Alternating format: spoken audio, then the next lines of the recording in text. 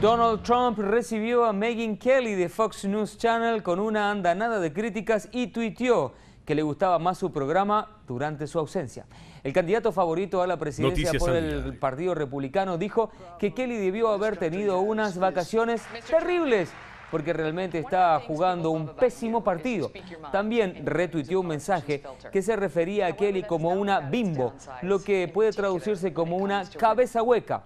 Trump ha estado atacando a Kelly desde que ésta le hizo algunas duras preguntas en el primer debate presidencial republicano. Con esta historia le damos las buenas noches a Juan Carlos.